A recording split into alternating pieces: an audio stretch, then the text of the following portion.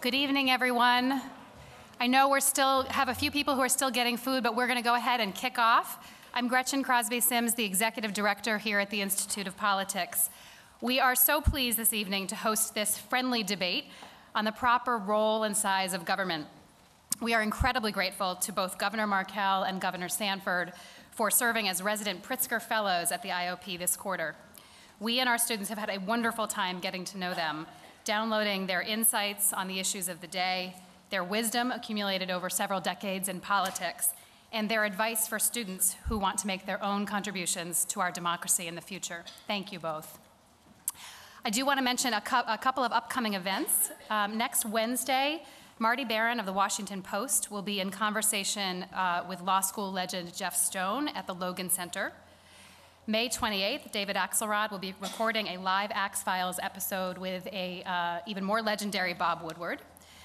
May 30th, we will welcome Patrick Gaspard, former U.S. Ambassador to South Africa and current president of the Open Societies Foundation, for a conversation on global trends toward nationalism and isolationism. You can find out more about all upcoming IOP events at our website at politics.uchicago.edu. We will open up the floor to take questions from the audience. Please line up behind the microphone that's going to be over in this aisle. As usual, we give priority for the first three questions to be asked by our students, and we'd love to see a nice mix of women and men asking questions. We remind you that a question ends in a question mark. Uh, would like to ask you to please make sure your phones are on silent right now. Restrooms are downstairs if you need them. And here to formally introduce our speaker is Annalise Wagner. Annalise is a master's student from Gainesville, Florida, now at the Harris School of Public Policy. She is highly engaged at the IOP, attending many events and seminars, and this quarter she is serving as an events ambassador. Please join me in welcoming Annalise to the podium.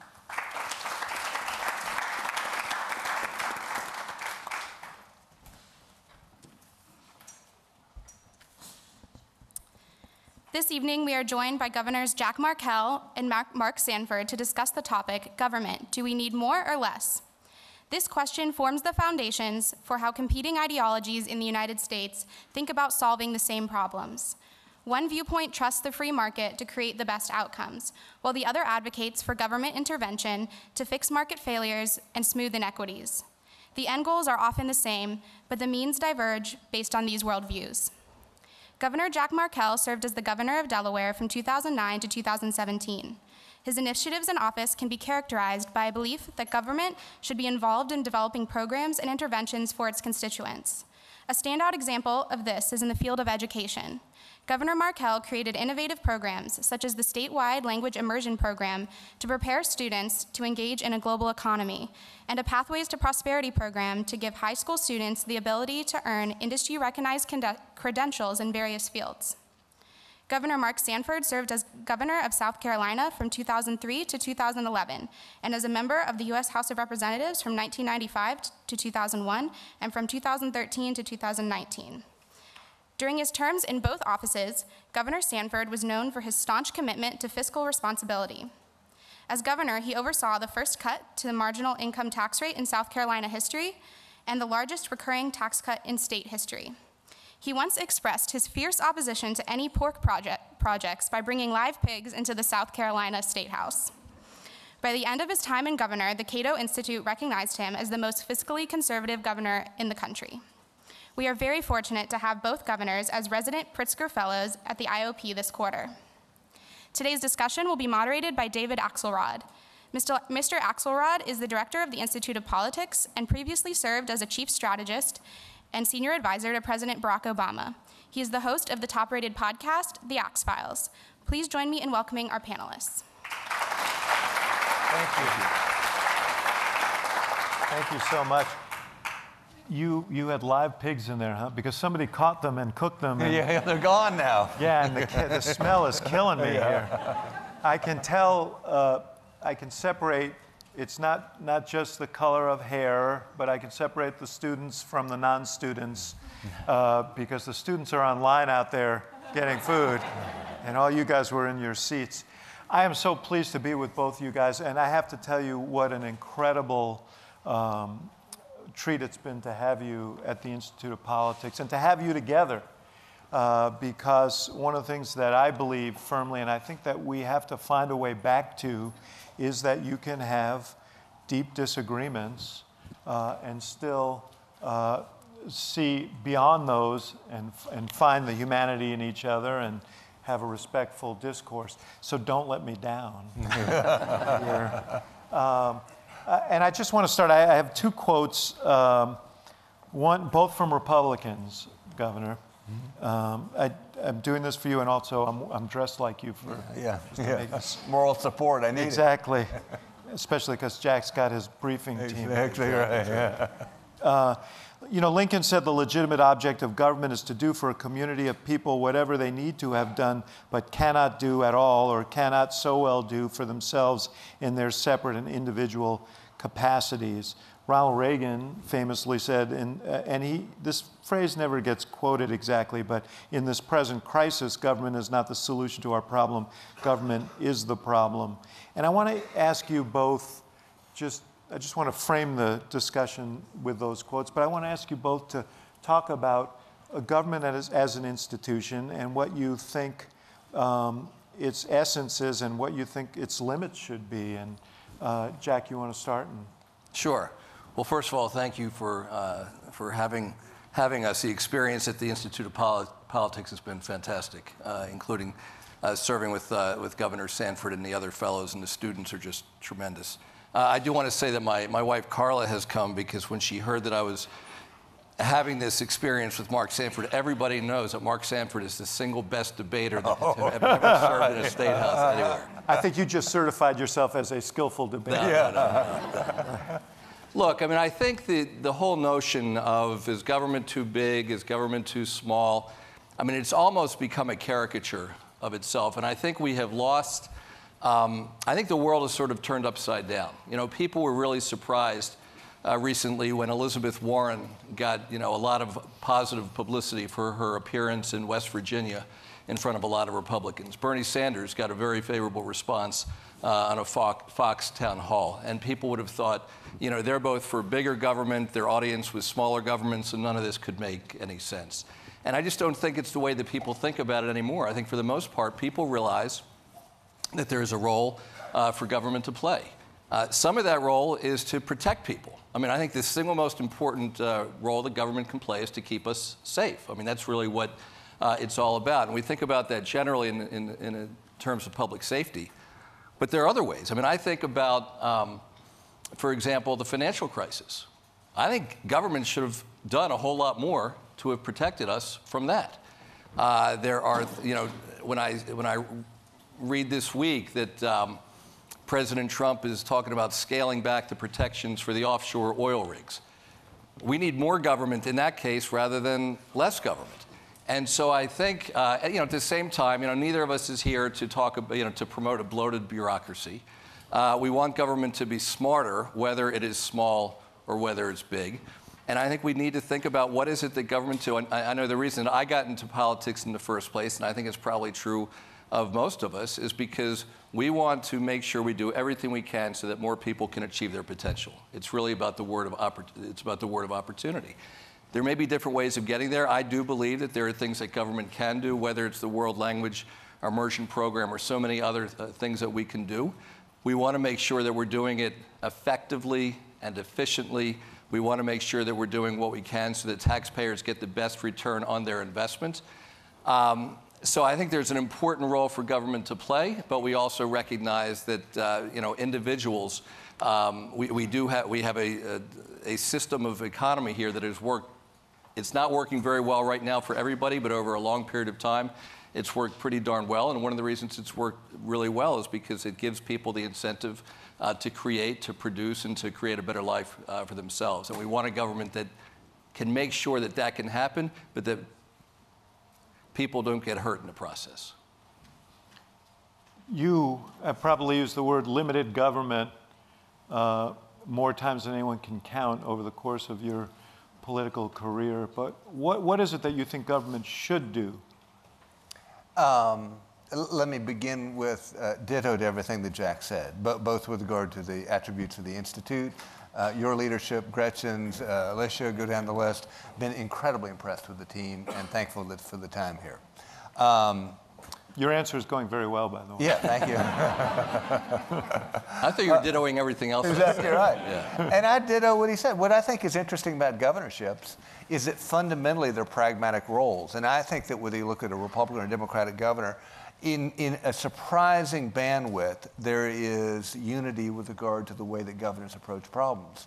The problem, in, in philosophic terms, has been more at the national level, wherein there are immense debates, frankly, on relatively small things, though. I mean, if you look in the aggregate over the next 10 years, you know, roughly, uh, we're going to spend around $60 trillion, right, going forward over the next 10 years as a federal government.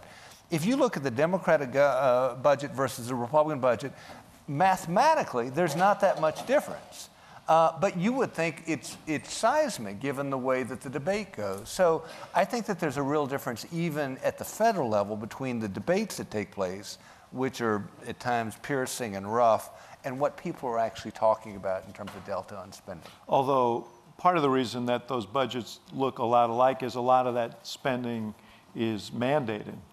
So the discretionary piece of it, and particularly the domestic discretionary pieces, is, is, is, is a rather small Yeah, now part. you bring up a very legitimate point, which is the Trump budget, for instance, guts domestic discretionary over the next 10 years. It's completely dead on arrival. It's completely make believe. Uh, he said, We're not going to touch entitlements. Here's the interesting thing if you look at the budget over the next 10 years. Uh, more than half of your federal budget will go to payments to people above the age of 65.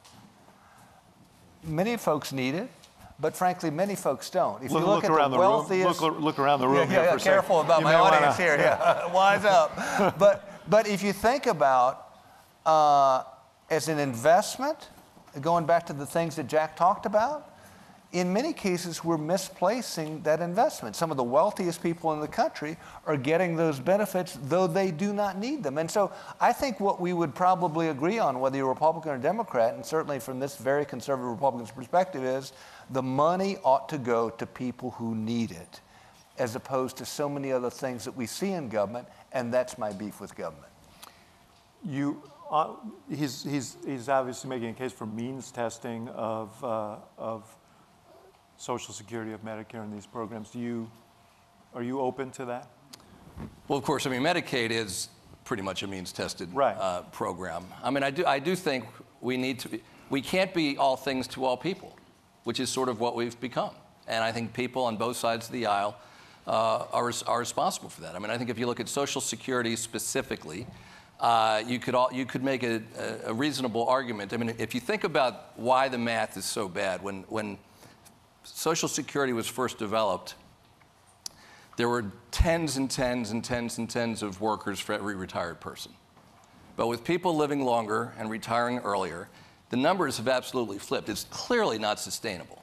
Now, the question is what do you do about that? Do you reduce benefits to people who perhaps don't need it?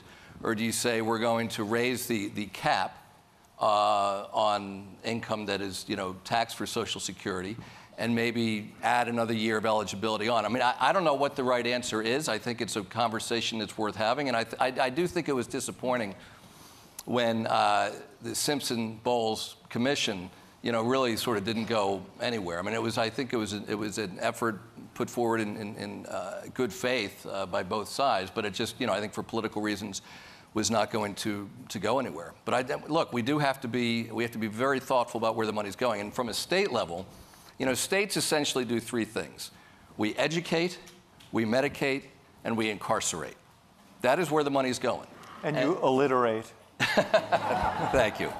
And, uh, but what's, what's happened is because of, uh, you know, the huge increase in healthcare costs, and frankly, because of mass incarceration, there's less money to put to the things that we would like to put it to, education, quality of life, and the like. And so I think we do have to have uh, some pretty, you know, hard conversations about where this, how, how we're going to get out of this unsustainable rut we're in. But, So- but, but can, can I interject? In other words, you, you were sort of nudging me on the, the bigger philosophic point. And, and let me say, here's why I believe that we ought to look at limiting government wherever we can. If you read Paul Kennedy's book, The Rise and Fall of Great Powers, what he talks about in that book is that historically the biggest thing that government could get overstretched on was a standing army. But that's no longer the case. Nowadays, with entitlement spending, which is again about two thirds of, of our federal budget, it's really on the entitlement side. But, but the point of his book, and it was, it's been reiterated with book, you know, Reinhart and Rogoff, with, this time it's different, and I get it, there, there were questions with regard to some of their methodology, but it's a legitimate point, which is governments tend to get ahead of their skis for a couple of different reasons. One is just human nature. So, for instance, in South Carolina, one of the things that we fought hardest against when I was governor, you had a senior senator by the name of Glenn McConnell, actually head of the South Carolina Senate, who happened to dress up on weekends as a Confederate War reenactor. And that was his thing. He also happened to have a store where they sold Confederate memorabilia. and that was his thing. Long story short, because it's his thing, next thing you know, it becomes a state project to go out and spend more than $60 million uh, extracting the Hunley, which was the first submarine, which actually used in the Civil War, sank off the coast of South Carolina, but to go out, re- extract it, bring it back, build an institute, long story short, pawn it off on the uh, Clemson University as a quote restorative institute. And as we fought this thing, I remember having a conversation with one of the folks saying, well, let me get this right. There's not really a big market for Confederate War research, submarine material. How does this work exactly? But because that was his thing, that's what we spent $60 million on as a state. And you can go, I mean, I think it's interesting to look at today's paper. The fact that the FAA, which was charged with watching out on the, you know, the, the, the, the 787, well, they said, well, Boeing, you'll take care of it. Either it's, it's mistakes in human terms, it's biases in human terms, or it's the bias that's built into the government, which is for every program out there, there's diffuse cost and there's concentrated benefit. So I remember back when I was like a sophomore or freshman in Congress, the, the sugar subsidy program at that time cost about, uh, about, about a billion dollars a year in the form of higher sugar price. At that time, there was about 250 million of us in America, which is to say it cost each of us about $4 in the price of sugar. Who's going to take a trip to Washington to save $4? Nobody. But that benefit, that billion dollars, went down to about 60 domestic sugar producers, the largest of whom was the Fanjul family, who at that time was on the Forbes 400 list. They had yachts and helicopters and owned Casa de Campo in the Dominican Republic. Believe me, they were there. And they pulled every lever possible, even though only about three districts in the country were directly impacted by sugar subsidies. They teamed up with beet producers and others. Next thing you know, a, a, a, an item that you could not sell in 90% of the congressional districts across this country passed, and we lost by three votes. And when the gavel went down, I remember looking back at the back section of the gallery, and there were a bunch of folks in gray suits giving each other high fives because they'd won for the day. There are a lot of built in inefficiencies in government, and the reason I think it needs to be smaller is because I think Milton Friedman was right. His, his point was the ultimate measure of government is what it spends. At times, you have to limit it that way. But there are needs out Certainly. there that uh, are, are going unmet. The, the civil engineers uh, say we've got $4.5 trillion in unmet uh, infrastructure needs, just keeping up our physical plant of the country to move goods and services. It's something that every economy needs. In fact, Lincoln, during the Civil War, uh, uh, uh, signed off on bonds for the Transcontinental Railroad because he understood that once the war was over, that if the economy was going to thrive, there needed to be this railroad. So uh, isn't, isn't but even so, we have an inefficient delivery system. Think about the funding formula. This won't go over well in Illinois, I get it. But it favors Rust Belt or Northeast states because that's historically where the population has been. And it disfavors where the growth is taking place and where there's profound infrastructure need in terms of new people coming into those communities, whether that's in Florida or Texas or Southern California or Arizona, based on the funding formula itself. He who holds the goal wants to hang on to the goal, which at times makes for real inefficiency in the system. taking, uh, uh, uh, taking under advisement what, uh, what Governor Sanford said about um, how the money is distributed, we still have this $4.5 trillion gap. What should government The- be doing about I it? mean, frankly, the, the inability to do an infrastructure deal is shocking because o- the federal government is like the only place I know that is mixing up infrastructure money with operating money. I mean, every other, I mean, states, I mean, I, you know, in our state, we had an operating budget, we had a capital budget. And the, it's perfectly fine to borrow money. You know, if you want to do it with the gas tax, do it with the gas tax. I don't really care what the mechanism is. But when you're building things that are, that are going to last 40, 60, 80 years, there's going to be an economic return to it. And so it's worth making that investment and it's worth borrowing against it. The problem is when you are, in, you know, when you're borrowing, you know, it's the, the states, 49 of the 50 states are required to have a balanced budget. I think Vermont's the one that is not. And so we can't, we don't borrow money to fund operating expenses. We have to, you know, if we have to raise taxes, if we have to cut spending, if we have to do the, the two together. But that has nothing to do with infrastructure. And we, we figure out a way to make those local infrastructure uh, investments. So I think it's unbelievable that we've not been able to, to do that. I, I, I do want to make one other structural point on something that Mark mentioned earlier and you mentioned as well, which has to do with sort of the two generation piece. There was, there was a great, really important book, I think, written about 15 or 20 years ago called The, uh, the Coming Generational Storm or Intergenerational Storm, which was about the coming conflict between younger people and older people. The older people were going to want to make sure they protect and perhaps enhance Social Security, Medicare, and the like. And that was going to uh, divert resources that the younger people were going to want on, you know, things that mattered, mattered to them. What hasn't really happened that way, and it hasn't happened that way because everybody's agreed, you know, to just print money. The Republicans are, you know, part of the, you know, the, the hypocrisy, and I can't really put Mark in this category because he really, he was one of the few, but the hypocrisy on the Republican side of people who cared so much about the, the deficits when President Trump, uh, when President Obama was president, and who now have totally caved and who, to, who have totally rolled over, and it's like deficits don't matter. And at some point, the, the, somebody's going to have to pay the piper. Because what's ha- you know, it, it would have been one thing if we'd had this conflict and we would have had to figure out we're going to cut spending here in order to make investments there.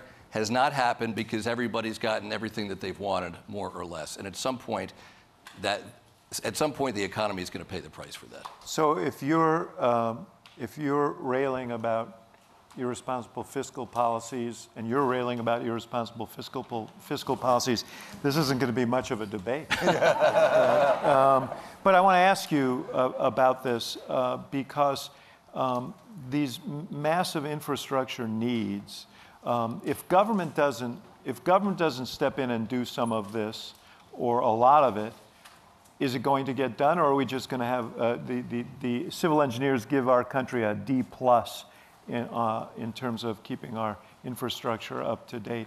Do we just live with that uh, as a matter of principle, or wh- what exactly should we do about it, or do you think that the markets will take care of it? I have no problem with markets taking care of it. Um, I, I, think I- I don't either. I'm just asking if you think they will. yeah, no, but, but and, and so what I'd say is, uh, if you look at some of the new capacity that's coming online, it is in fact toll roads, and given the way that technology has changed with regard to tolling, it's becoming more and more of a viable option. And so you have a big fat outfit out of Australia and a big outfit out of Spain, and a couple of others around the world, wherein they are uh, going out, raising capital and investing in projects uh, because there's a, a real rate of return. I think that that's important in terms of new capacity. I think politically it's impossible in terms of existing capacity. But even then, again, going back to the inefficiencies in the system, uh, I remember uh, looking at the data behind HOV lanes, uh, high occupancy uh, uh, lanes. It really doesn't support a separate lane uh, versus some of the others. And, uh, and so if you said, what if we price that? And, and the, for instance, there's a, I've forgotten the name of the toll road outside of San Diego, wherein they have variable pricing based on picking your peak. And so for the person who's retired or the student who says, you know, I can go kind of any time to go do my shopping, they can pick a time that's lower. And the person that has to go when they got to go, well, they're going to pay accordingly. I think we ought to look at more options on that front. But here's the bigger you- point. Wait, here's the bigger point, though. Israel arguably has some of the tightest security in the world. And yet they have a privatized function with regard to many of their security functions at their airports. I remember having a conversation with Steve Largent uh, post 9 11, and at that point, uh, the federal government federalized 45,000 workers. And I said, What's the, you know, you're a conservative, allegedly a conservative. What, what's the deal? He goes, Look, it was just too big a wave right now. You couldn't resist the wave. And there are a lot of things that come like that where, in, because of emotion or because of the moment that you're in politically, you just got to go that direction, which is why, and I'm not begrudging him, I wasn't there. But what I would say is, why not look at more options where in the private sector, particularly given the way that technology has moved along, could take care of the function as opposed to having it be a government? It hasn't worked very well. I mean, just In I mean, Israel? Really, no, I, I mean, I, in general, when we when the public sector trusts, they hand over responsibility to the private sector. I mean, private prisons have been a disaster. For-profit uh, K-12 has not worked very well. I, I don't think, you know, to your point about the infrastructure. I didn't. I had not heard the 4.3 trillion figure. About 10 years ago, I heard a figure about 2.3. This is when uh, Ed Rendell and Schwarzenegger and Bloomberg put together their. So in 10 years, it's it's basically doubled.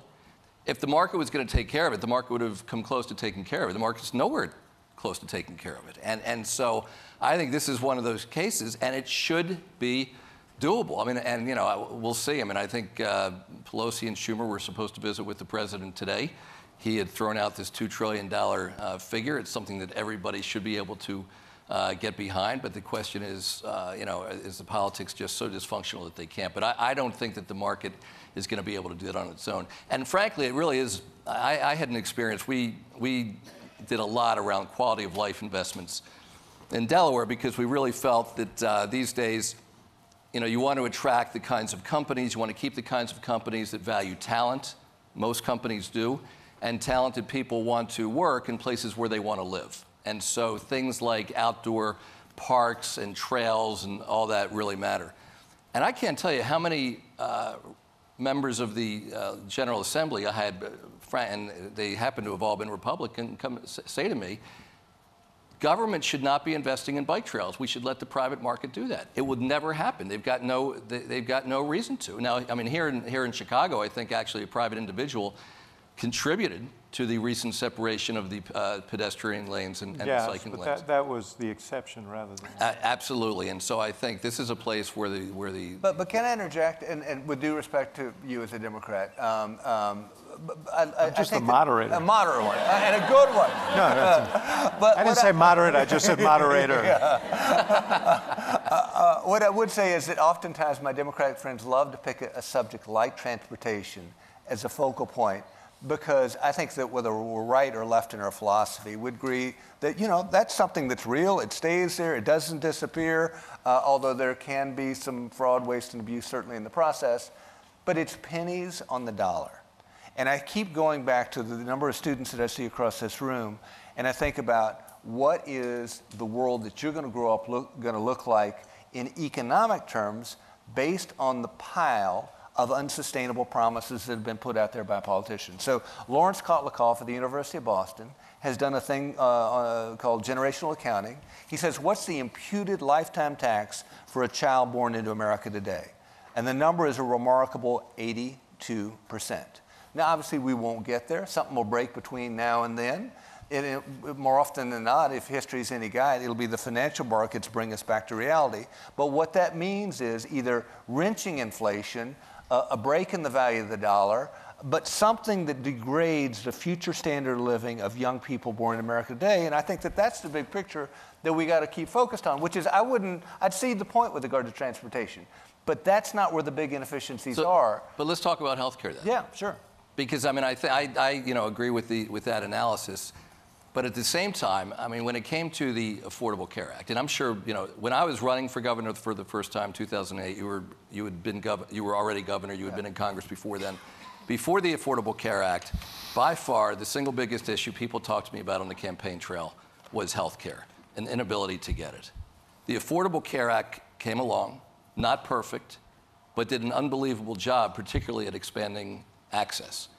And so the Republicans spent a decade trying to kill it without having anything to recommend in its place. So, I mean, I, I do think, I mean, I I think it's not fair to say, you know, it's easy to pick on transportation, because I do think there are a bunch of other issues where, you know, there, there has been a real difference between the parties. And I think that one in particular, and even as recently as, you know, last year when, they, when, the, when the vote went down, as recently as a few months ago, when, or la- last month, when, you know, Trump says he wants to, uh, he's going to court to try to kill the Affordable Care Act altogether. Yeah. And um, there, there are places, it would have been nice if the market had worked for all of those people. The market works really well for those of us who have an employer. But there are millions of people across the country for whom the market was not working at all when it came to accessing health care. You know, the Democrats lost overwhelmingly in the 2010 election, be frankly, because the, you know, the president had the, the courage to do, to do what he did. There was a political price to pay, but I think in the end, it will definitely have been proven to be the right thing. But, but again, on, that, I, I actually had the Republican counterpart to the Affordable Care Act, uh, a replacement bill. The problem, as I saw it, and I think as many people have seen it with regard to the Affordable Care Act, was there was a self selection built into the process. Because there in other words, if, ever, if you could force everybody into the system, I'd completely agree with it. But that's not what happened. So there was a relatively nominal charge to say, if you don't go on, we're going to fine you. And so a lot of young and healthy folks said, I'm pretty healthy, I'll take the fine. And so it became self selecting, wherein sicker and sicker or, and older and older begin to go into the system, such that from an actuarial standpoint, it couldn't stand, which then began to drive numbers in the wrong direction. And, and so I absolutely agree with you with regard to intent. Um, but again, I think what we've got to look at, which is too often overlooked in the world of politics is the math. Is it sustainable? But- but- and my big push in terms of government overall is I completely agree with many of the things we would want in government. But the big question for the next generation, for my four sons, for your kids, is is it sustainable? And by any accounting mechanism, you look at our numbers today, we're headed over a cliff. Our numbers are not sustainable at the federal level. So you would have supported, you think the Affordable Care Act's great flaw was that the, the penalty for, for not adhering to the mandate wasn't high enough? I mean, I will tell you that that was a big discussion, uh, and there were, and it wasn't most, uh, and most of the people, remedy, in, but yes, most of the people in your, there, a lot of people in the Republican Party who were at least open to voting for it never did, uh, said, and, and some Democrats, well, we'll do this, but we don't want this penalty to be that high. But let me ask you a different question because your debt, I know, is, is a cause. Can I, can I make one comment before you do that, yeah. still on healthcare? Yes. Because I, th- I think that criticism is a fair one. But the Republicans made it so much worse in the following way. So, one of the things, and I don't want to get in the weeds, but I think it's important for people to understand one of the things that was built into the Affordable Care Act, because there was this uncertainty about how many people were going to sign up, how sick they would be. And so there was something called, the technical term was risk corridor, which basically said to the insurance companies if the population of people who sign up are not very healthy and it's more expensive to care for them than we expect, then the insurance companies can be made whole because they were taking a big risk without knowing how expensive it was going to be. Marco Rubio led the charge, totally political, said it was a bailout of the insurance companies, refused to fund the risk corridors. And so, what has happened between that and then between the Republicans refusing to uh, fund some of the outreach to make sure that more healthy people could sign up, what happened is, is they, they, they made it much more likely that the thing would uh, ex- essentially fall under its own weight.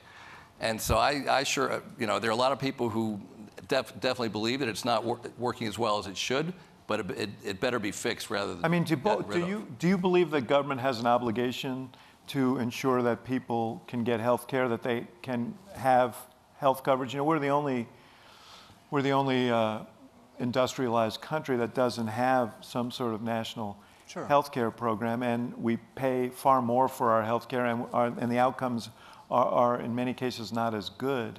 Well, not in terms of sick care. If you look at our, our country in terms of sick care, we're the best in the world. So if you want to have a lung transplant or a heart transplant or whatever else, you're not going to Canada, you're not going to Britain, you come to the United States. And if you don't get preventive care, you Right. may need it Bingo. a lot sooner. And where we're not is on the preventive. I completely agree. Yeah. I mean, I tortured my former wife and our kids. We did a bicycle across the state. We're trying to raise awareness on the importance of prevention and eating right and exercise, and it went pretty much nowhere. Uh, but, But but- uh, on, on the subject, on the sub, subject of debt, um, you both have mentioned uh, debt. I, I have to ask you this question. Um, you voted for the tax cut in 2017 when you were in Congress, 1.5 trillion dollars. Everybody said that will add to the, the, these deficits and ultimately to the debt. Uh, the argument counter was this will spur such economic growth that it will, you know, it will ameliorate the losses of, of revenue. That hasn't happened, and the debt, debt now we're not 22 billion. It's accelerated. Um, did you were you wrong or did when you made that I thought you were a moderator. I know, but I, old habits die, old habits die hard. The, the, uh, what I'd say is this. Um, if you have insomnia tonight, I've got the cure. Because I actually, I used to write a Facebook post describing every vote that I took, all the major votes. And so I, I wrote a very long-winded, five or six-page uh, sort of write-up of that particular vote. And what I said were two things. Uh, one, if you look at, at, at revenue to the federal government, it has been remarkably consistent over the last 50 years at about 18% of GDP. I mean, high tax rate environment, low tax rate, you can only squeeze but so much blood from a turnip, and it's about 18%. And so I said, if, if this had taken us well off that mark, I would not have felt comfortable with it. I would have voted no. In fact, if you look at the 10 year numbers, we stayed right there at about 18%.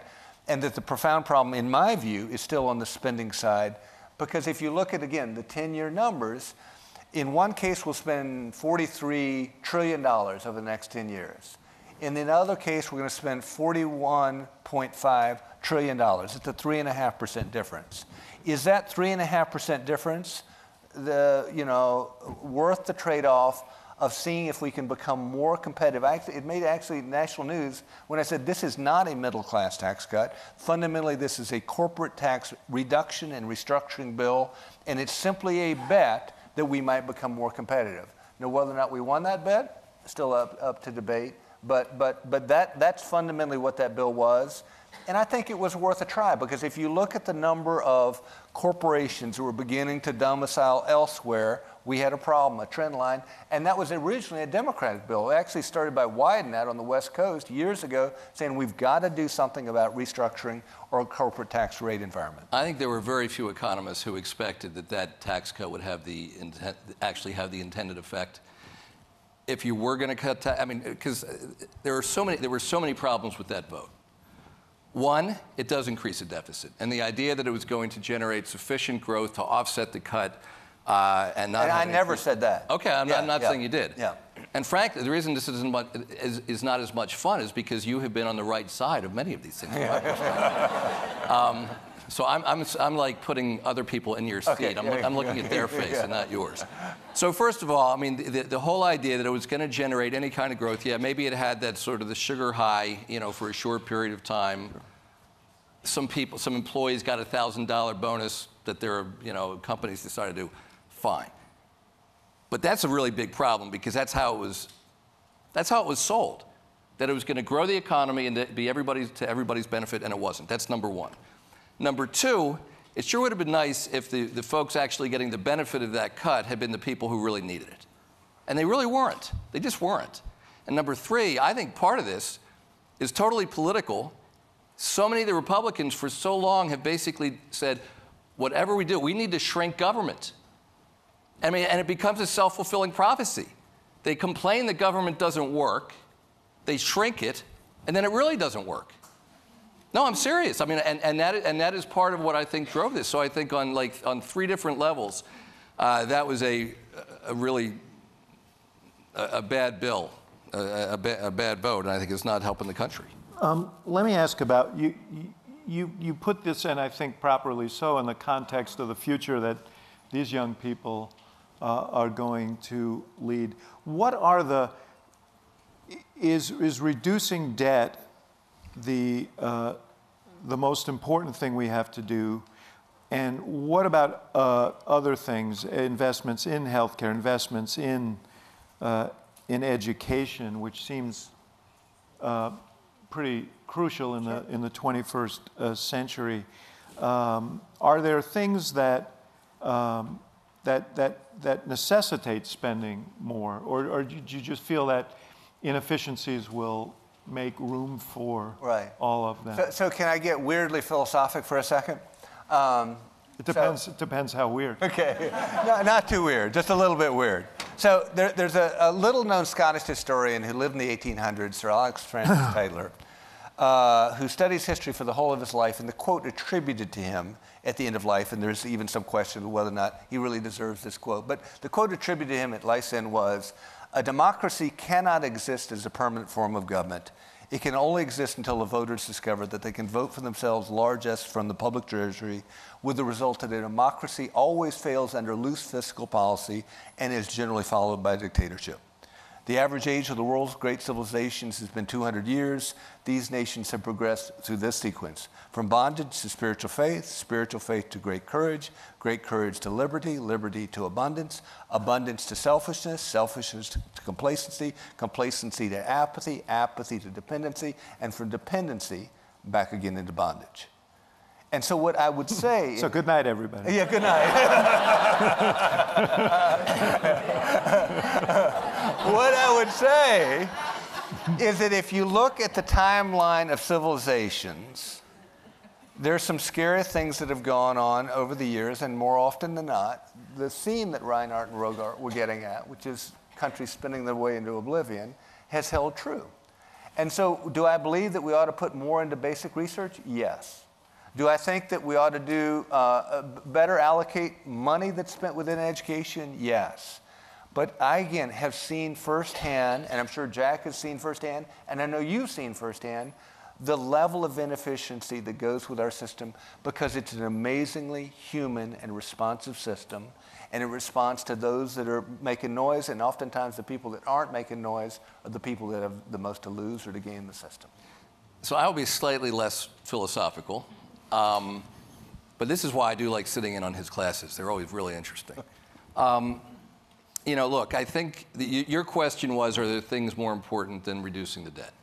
Well, So my short are- answer in is- terms of in terms of predicting, in sort of in, in in terms of addressing the major challenges that will confront this and future Right. generations. Yeah. Yeah. Are there other things that should be priorities as well? Yes, I, and, and uh, which is not to say that that's not a priority, but I- I'll say this. I mean, I think the, the strength of our democracy, the strength of capitalism, is incredibly dependent upon how much confidence people have in the underlying system.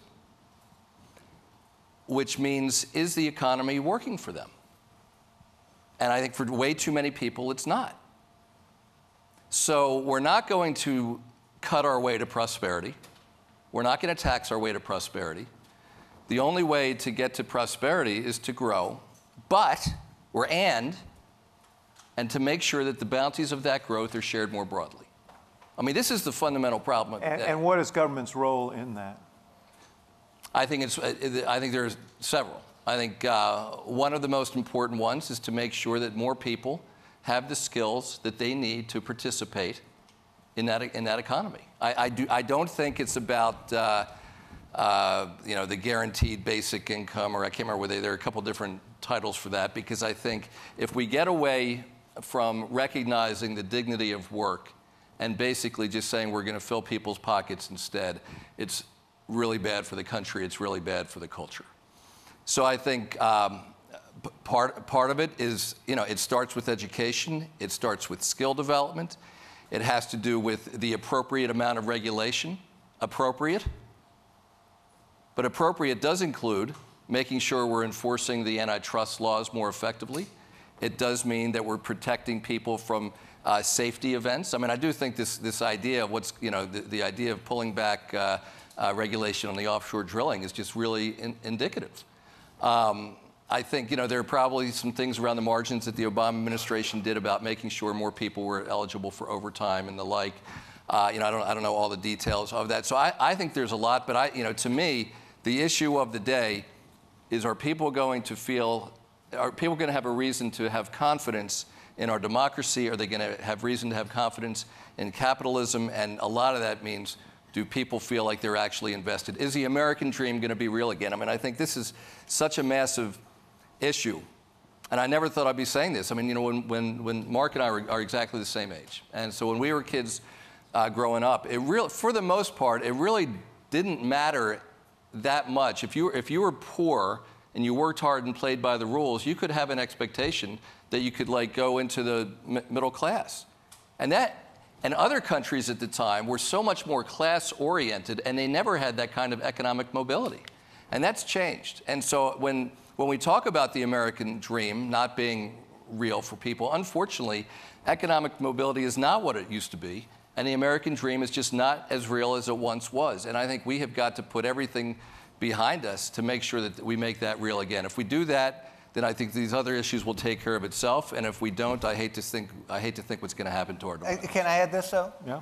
So I again agree with what Jack's getting at, but the reason that I think paying down and dealing with debt and the spending trajectory is paramount is think about this. A one point rise in our federal government interest uh, rate, one point, just one point, is $150 billion a year in additional interest cost. We spend $150 billion on all military personnel in uniform. So line up all the Marines, the Army folks, the Air Force, uh, go down the list, $150 billion. One point. And so I, it's interesting. We had a class yesterday, and we were talking about how spending basically, a debt is spending pull forward. I remember I was at the University of Virginia, got an MBA there, and our finance professor, we'd studied the perfect CapEx model. And then he puts the, the, the book down. He says, Forget everything I've said to date. The companies that have made it the longest actually had anything but a perfect CapEx model. They had low to no debt. And so the value to being able to deal with the problems, the way in which our economy is changing, the, the fourth industrial revolution, it's being called, is to say, let's make sure we have maneuver room as a federal government and are not strung out. And we are strung out right now. So think about, you know, the Fed has quadrupled its balance sheet. It has little room to move. Uh, you think about the deficits. We're roughly a 5% deficit today. A, a run-of-the-mill recession is going to add another four points to that. You'll be at nine or 10 points, which is today. You have no capacity to move in terms of fiscal policy. We do not have options. So I agree with Jack on where we ought to go. The question is, will we as a federal government have the ability to change course and, and, and, and be ready for that new economy and be ready to make the kinds of investments you're talking about. And with a debt laden uh, balance sheet, we won't, and that's where we are right And, but that, and that tax cut last year did not help give us did not help give us any maneuvering room. That's for sure. You know, Jack, Jack mentioned uh, uh, concerns, antitrust concerns. Uh, As a, a- as a, uh, a libertarian, uh, are you concerned about the sort of massive consolidation that we've seen, and, and, uh, and what should the government's role be in that? No, we, again, uh, Alicia was there. We got into an interesting conversation at the end of yesterday's class talking about no, there's absolutely, I mean, I, I, again, I'm a conservative and I'm, have certainly have strong libertarian bends, uh, but I, I, I, government, I mean, I believe that my rights extend until they begin to touch upon yours. At that point, they just ended. So government has a role as arbiter. That's why I vote against my own party on environmental matters. Um, that's why I vote against my own party on many civil liberty issues. Uh, and, and absolutely, given the growth of Facebook and Amazon and others, they're gargantuan. And our present laws don't fit. They need to be updated. We, uh, we, is there, oh, there's the microphone. There's a microphone there. Join the discussion here. Uh, and we'll start right, right there. Hi, uh, my name is Sarah. I'm a current graduate student in political science. Thank you uh, for the debate. I just had a quick question. Um, throughout the discussion, we've kind of been focusing on uh, spending and, the deficit and that sort of thing. And I kind of wanted to ask a, a more philosophical question about, you know, the limits and size of government. Um, if we leave deficits and you know, gaps in the budget and, and spending aside, if we you know, pretend that all of those things are solved, what on a personal level or personal philosophical level, do you think the boundaries of government power should be? If we're not talking about government spending, if we're not talking about balancing the budget, where do you think the government should stop just on a matter of principle? I mean, as a matter of principle, I, I, I, I think that our founding fathers set up a system that was designed to enshrine maximizing individual liberty and personal freedom. And so there is no perfect line. I think that all developed societies across the ages have had a tug of war between security and freedom. Um, but it was Jefferson's observation that the normal course of things was for government to gain ground and for liberty to yield. And so I fall on the side of pushing back on that battle line wherever one can so that you indeed maximize individual liberty. But I don't think that, there, that it's a three point plan. I mean, I think it goes to every area of life. Um, I think the, the focus on freedom is important, but so is the focus on justice and fairness. And so those who argue for you know, the smallest possible government um, would, I think government needs to be big enough to make sure that people are treated fairly in our criminal justice system.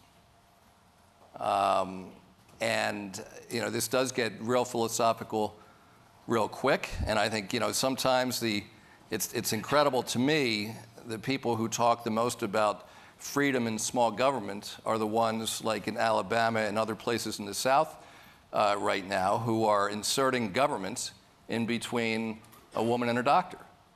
And, um, and I, so I, I think that's sort of the, the problem with a lot of these conversations. They become, uh, you know, people try to make it so black and white, and it really isn't. And I want, I want a government that's big enough uh, to, I mean, I, I mentioned earlier uh, the, the financial crisis in 2008. If the government had done a better job of regulating the lenders, if they had done a better job of um, regulating the ratings agencies, which were giving AAA ratings to really lousy junk debt, we not, may not have got, gotten in the problem. And then afterwards, there were those who said the government should not have been involved in the, in the Recovery Act. I, I mean, I honestly hate to think and I mean, and, and the president came under intense pressure about that. That was a moment in time where the government had to be big and to step up and had to invest. And whether the exact allocation of dollars was exactly as it should have been, I don't know. But that's a, that's a time where I think I want a government that's big enough to make the necessary changes. Thank And, you. and let me inter- interject. So, again, taking the flip side of, of where Jack is on that, I would argue it's big enough that you have enough in the way of resources to question the distribution of those resources. One in every $5 that's spent in the United States of America is spent by government. And so, with all due respect to my 434 former colleagues, if you were to wander around the, the chamber and see the way in which decisions get made, oftentimes here's the level of analysis. Whose bill is that? Oh, that's so and so's bill. Well, I'm not voting for that. Uh, and, and, and, and I mean, there's not exactly a. Sounds he- like someone had a bad experience or two. a heavy level of analysis that goes into the way that one in every five dollars you earn gets spent. I, I, And, I- and, and, and one other thing, just on that front, you could also take the flip side with regard to the financial crisis. Some would say, well, wait a minute. The banks, in many cases, were mandated to put out loans for folks that frankly didn't have the capacity to handle those loans, and so they created the ship. And then a lot of the inequity that we're talking about today is, in fact, created by a Fed that would go out and, and suppress rates, which helps the, the wealthy guy who has access to a hedge fund or private equity. But the savings vehicle for the average Joe out there historically has been a money market account or a CD. They're out of luck. And they've been completely stripped with regard to earning power, and it's exacerbated some of the wealth effect and some of the inequity that you rightfully point out. Hi, uh, my name is Russell Simons. I'm a third year medical student here at the university. Um, we've talked a lot, we've heard conversation tonight a lot about debt on a macro level from a federal perspective, but I'm curious more about personal debt uh, and specifically student loans. So I'm, uh, I'd like to hear your perspectives, if you're willing, uh, on the role that government should or should not play in the distribution and management of those loans. And I'm standing here uh, knowing full well that I represent a class of people in the society, medical students, who carry an average student debt of $190,000 upon graduation, uh, and that can exceed for 25% of people uh, $200,000. And I don't think I need to explain to everyone in this room how astronomical that amount of money seems to a young person like myself. So I'm just curious about your thoughts on student loans. I bet you wish you were at NYU at the moment. Just a little. Yeah. Um, look, I mean, I, I'm actually a fan. There's a, there's a new kind of student lending that's developing. They're called income share agreements, which uh, exist in other countries, and they're starting to happen here as well, where essentially uh, what you repay from your student loan is based on what you earn after you graduate. And so instead of being left, you know, if, if you're uh, you know, in, in a low-paying job, you don't have to pay the same back as if you're in a high-paying job, even if you borrowed the same amount of money. And I'm, I'm hoping to see uh, more of that kind of thing. I mean, I, I have a lot of concern, by the way, of uh, I, I, I don't think the proposals out there to make all college free uh, to everybody is a particularly uh, good idea. Um, but I'm, I'm hopeful that uh, ideas Just like ex- the explain for a second why. well, um, there are a lot of reasons. I mean, so first of all, uh, college is not for everybody. And I think there's some unbelievable opportunities for people. And we did a lot in Delaware that I was really proud of to make sure that high school students could graduate high school with a high school diploma, with some college credits under their belt, but also with a nationally recognized certificate or credential that proved that they could do a job, whether it's in advanced manufacturing, computer programming, culinary, sort of whatever it is. And so we have this huge, we, we really do have a big problem across the country where employers are using a college degree as a proxy when they're hiring people for a job that doesn't require a college degree. So there's a big movement afoot, I think really wisely, to say let's move hiring away from being based on a college degree to being based on skill. So that, that's number one. Um, and I think that's, that's a really important one. Uh, number two, if you throw more money at the problem, the universities have not had any, any problem as it is increasing tuition. And you, you throw more money at them, they're just going to increase tuition more. And, and, and the kinds of um, uh, you know, wars that they've had, you know, to build the biggest and the best of this. You know, they, we, we built one last year, but now we need another one next year because the university down the road did the same thing. Uh, so I think that's a lot of pandering. I think it's uh, the, the cost of doing it is crazy. And I, you know, I, as, as we're listening to these uh, candidates running for president speak, I'm attracted to the ones who are being a little bit more honest about uh, uh, what this could cost and what we really ought to do to, to assist students with their education. Well, nobody can accuse you of pandering here.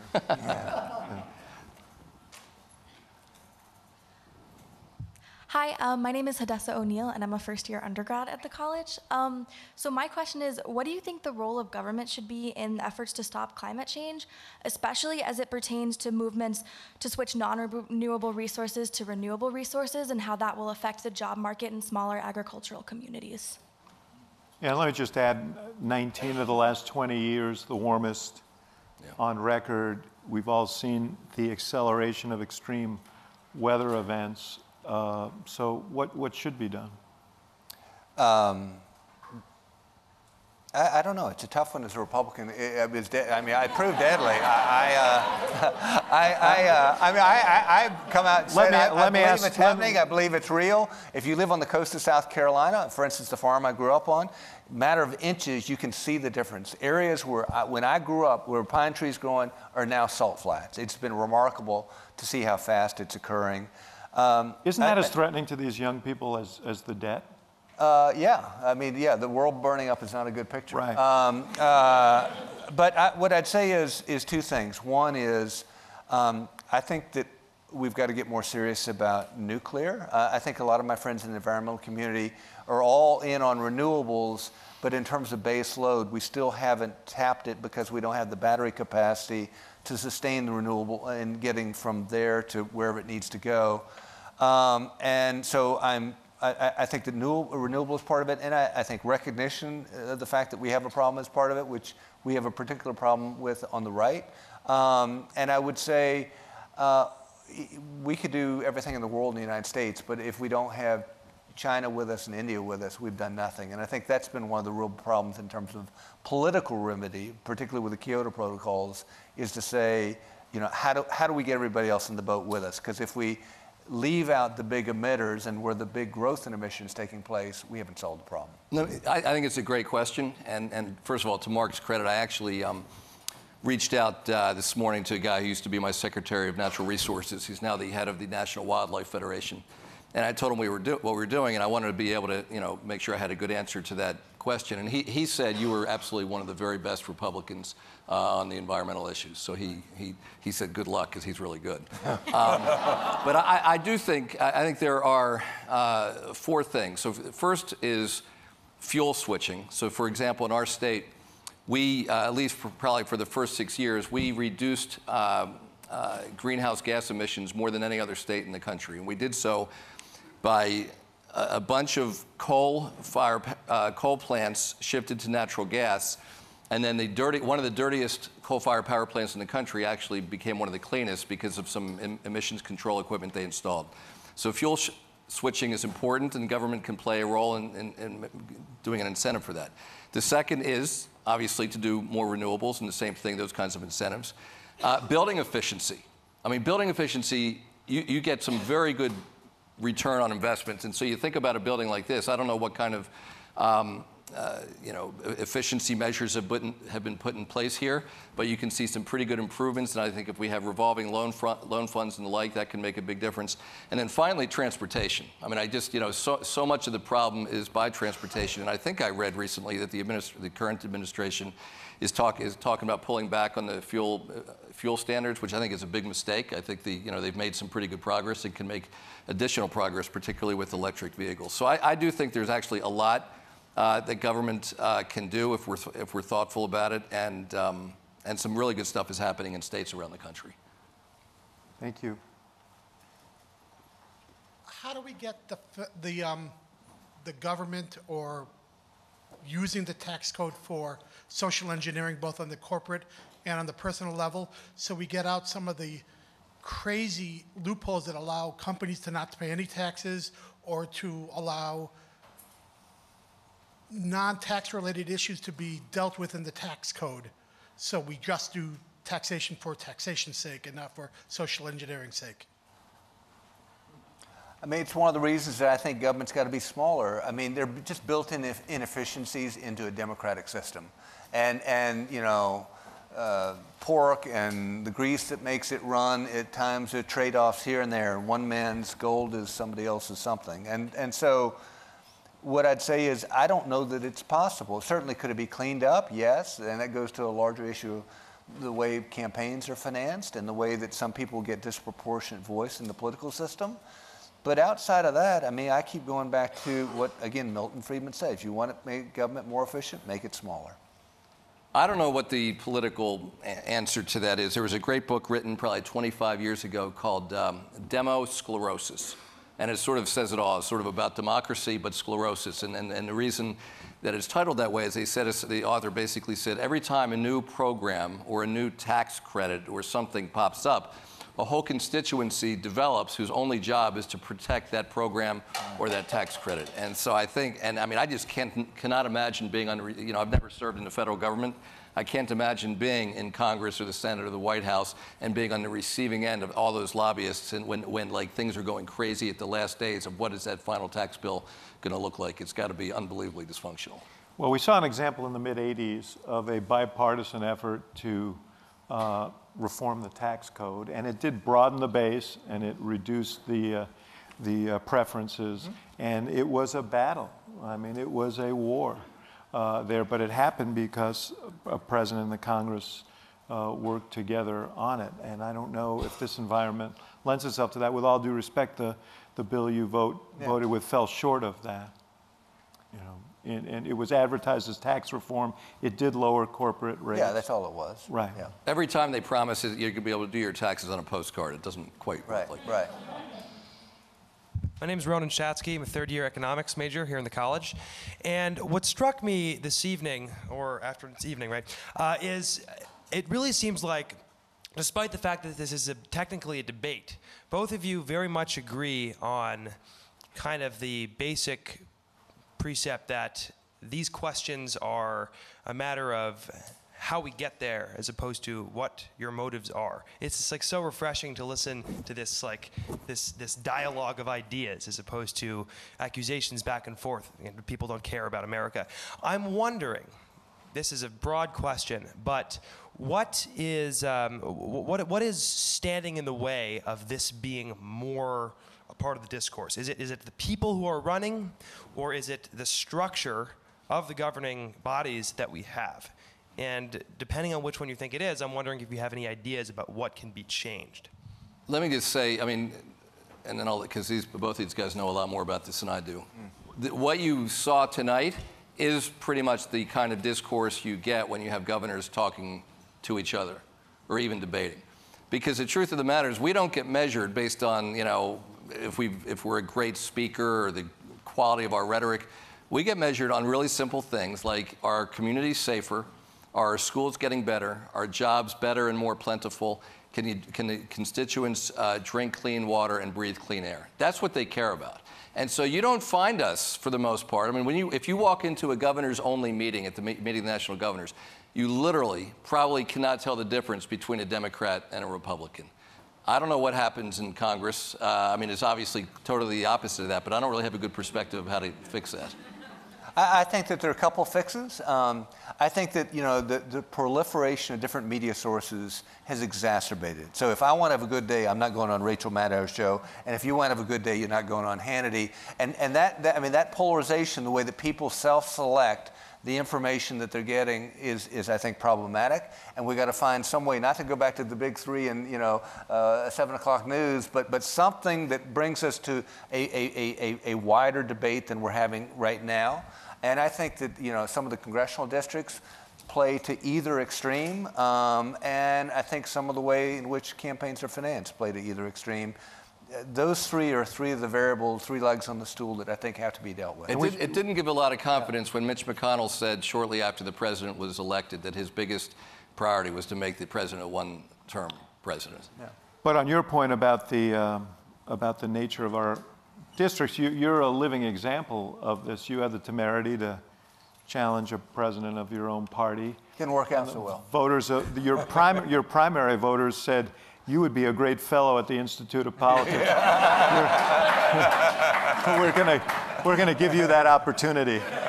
So let me just say, uh, just as a, a, closing stanza here, a closing thought, um, we do have, I think, some extraordinary challenges. We touched on some of them tonight. I think the issue of how technology and globalization is driving our economy creating enormous opportunity probably for everyone who's sitting in this room and creating uh, uh, uh, real disruption for people who aren't well prepared to, yeah. to take advantage of it is one. Climate change uh, is another. Um, debt. debt is another. Yes, debt, debt is another. Uh, it doesn't, I, I, just, I just want a closing thought from each of you uh, about whether um, whether we uh, expect too much from government, that what is the role of citizens to help solve these problems? And, you know, it, it seems, it seems to me that um, we've created enormous expectations. And, uh, some, and one of the reasons we have such alienation is that I don't think, um, you know, I think those expectations exceed the capacity to, to act, at least in these grand ways. You know, the best answer I have to that, it's not my original thought, but about, um, I don't know, six years ago, I led a, a, trade mission to, to Israel. And so we got to spend an hour with Shimon Peres, who at the time he had just celebrated his 90th birthday. And this is a guy who had, uh, he was the president of Israel at the time. He had spent his entire life, you know, adult life in politics. He was sort of perceived to be the, the statesman of, uh, you know, the last several decades in Israel. And he said something to me that I'd never, I'll never forget. He said, I have, he's not, he just turned 90. He said, I've come to the conclusion that government is not the answer. The answer is these young entrepreneurs out there. The answer are the activists. The, the answer is these, the social entrepreneurs. Uh, that's really where the future is. And so I, I don't, I don't know if that's uh, right. I think we need government better perform because you know, at the end of the day, and I, you know, sort of where I started, the strength of our system is really dependent upon whether or not the people have confidence in their government, that the government can deliver.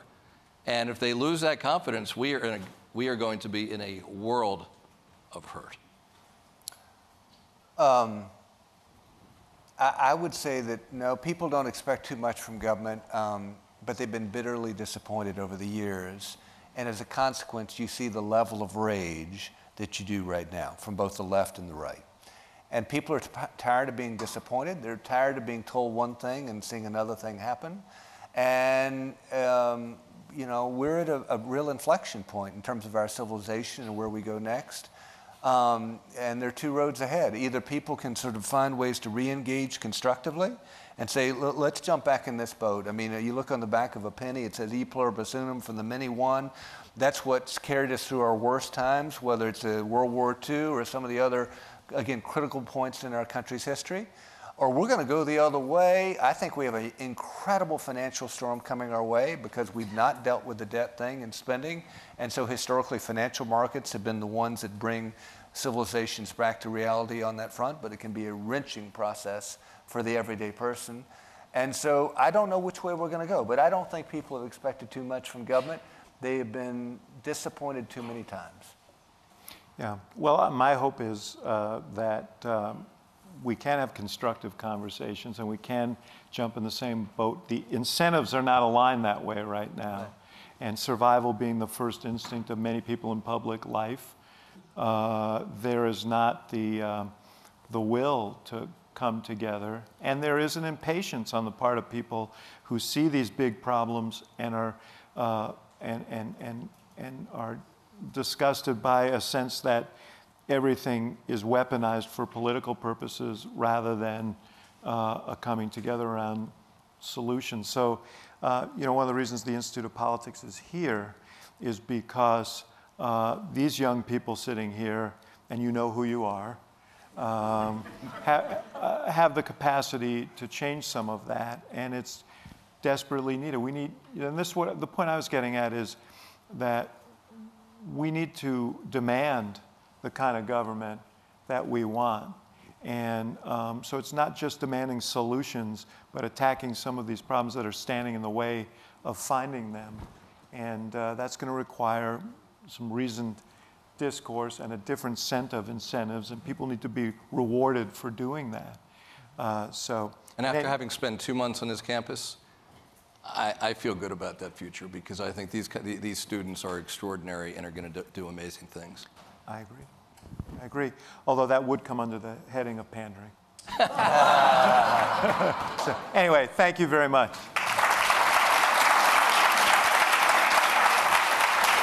That was fun.